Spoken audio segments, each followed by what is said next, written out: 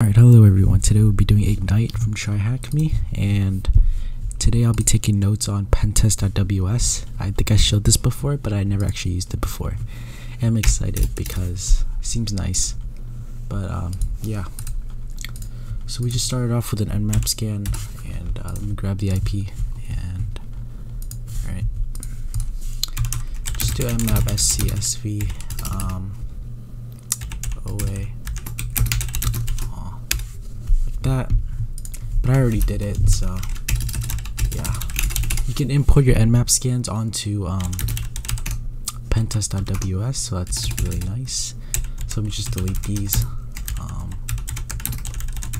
right. now once you import your nmap scans you can see all the open ports. That's nice. If I can figure out how to use it. Yeah it's right here.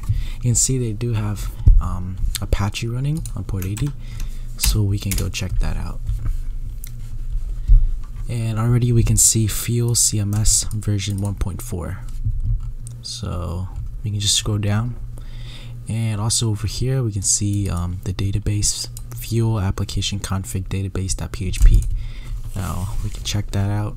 And you also see um, we can log in and it even gives us the credentials so admin admin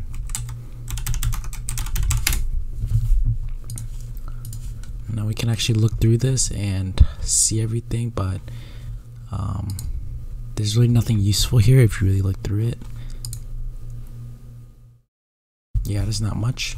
So let's just see if there's any exploits out here for it. And this comes up fuel cms 1.4.1 and that might actually work since this is also version 1.4 so we can actually download the exploit right now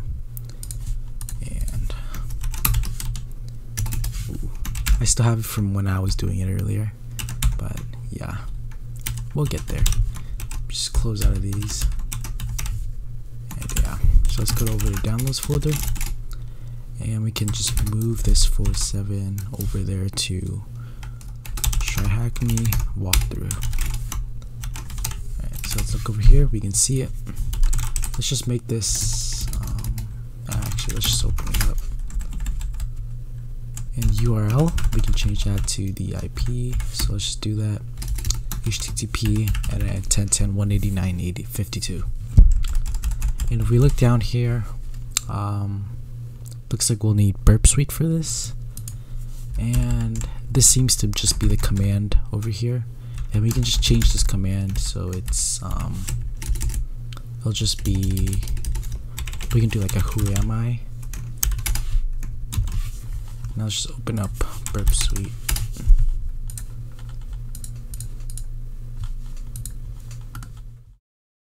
Okay. And we can just do next and start burp. You can close out of that. Alright, so now that we have this, intercept is on. Just turn this on. And we can also now do Python 47138.py and you can see it shows up right here. We can send this to repeater. Send it. And you can see we are www data. So we now that we know that it works we can try to get a reverse shell on this. So we just google um, pentest monkey php reverse shell. A github and uh, I forgot to turn this off. So let's just do that and PHP reverse shell. So we can just go over to raw, copy this, go back here, and cd try hack me walkthrough. And now let's just do nano shell.php. Just paste this here, and let's zoom in. Let's go all the way up top. And this is going to be the IP. We can change that to ours so it connects back to us. So let's do sudo if config. Grab this. And can change that to our IP port. We can just leave down a 1234. So let's just save that. Control S and Control X.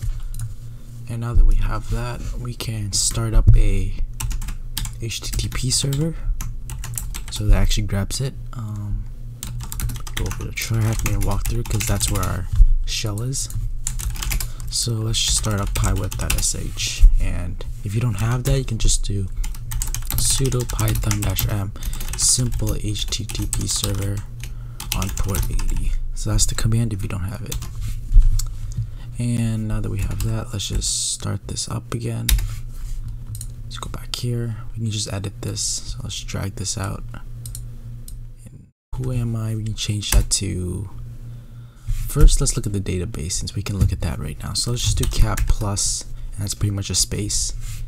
And let's just grab that directory. If we remember from here yeah the database is found here. So let's just copy this come back here just paste that send. Alright so we got something. So let's just scroll down as you can see here we already have the username and the password. So the username is root and the password is me me me me. Me me me. Okay it's only three me's. And now that we have that credentials I'm just gonna come back over here to pentest.ws uh, add credentials root. We can just do me me me me. Just add that. We should be taking note of this but I'm not doing that. Oops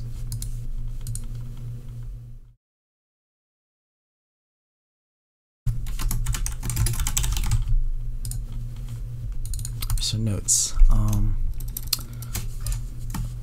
Apache 2.4 forgot the version. Just duplicate this tab. Move back. Apache 2.4.18 so 2.4.18 on port 80 you can see. I'll come back here database directory. Just do that. We do exploit found for fuel CMS version 1.4 you can just include a link to there. Credentials found. Me come back here. I guess we can also take a screenshot of this right let me copy the clipboard. Come back here paste that in just so we have that. Should always be taking good notes. I don't know why we have two so I'll delete that. And now we have our credentials. We can try to get a reverse shell. So we're gonna use this PHP reverse shell. So we can just do the same thing. Let's just make sure everything's running. And yep. So I'll just come back here. Uh, replace this. Oops and that with wget plus should be in quotes I think http our IP address which I forgot again. Sudo if config. And we can do that on port 80 you don't actually need that but I like to do it just because I always do it. Show that PHP and this should work. So let's just send this over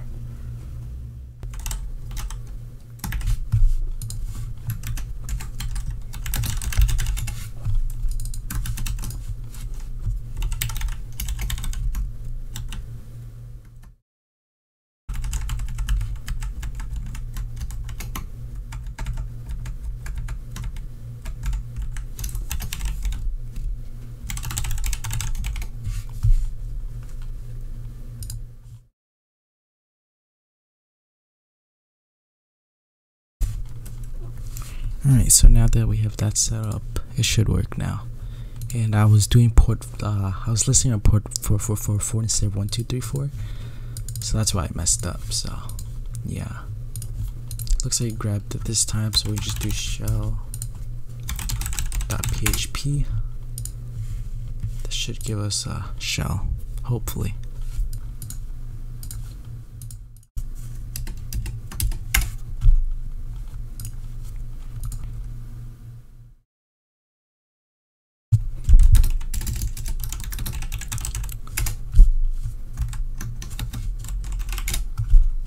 And now that you have that set up, I forgot to turn off Foxy Proxy. So that's why it wasn't working. So we can do shell.php now. Please give me a shell. Here we got a shell. That was like my fifth time doing it. It just kept messing up. So yeah. So now that we have a shell, we can just do who am I www data. We can move into slash home ls cdww dash data ls and we can just cat that out. And that's the flag. So let's just get a better shell. So we can come over here to pentest.ws just come over here shells. And let's just use python 3 we can do that. And there we go. And now we since if you remember we did get a password. Um, it's me me me me. So let's just switch users to root and the password is me me me me. Yep and now we are root. So let's just clear. Oh okay that doesn't work but doesn't matter. Let's go over to root ls and that's your root flag right there. So let's just cut that out. And that's your root flag. So I hope you guys really liked this video. And if you did please leave a thumbs up because yeah it's a nice video